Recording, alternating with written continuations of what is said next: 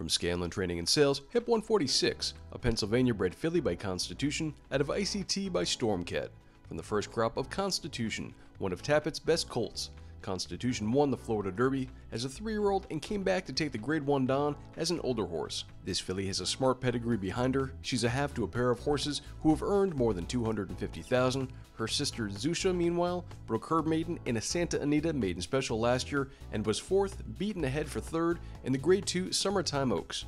Their dam Icy Tea is a Storm Cat three quarter sister to the multiple Grade 1 stakes winner Habibti, herself dam of a Breeders' Cup winner.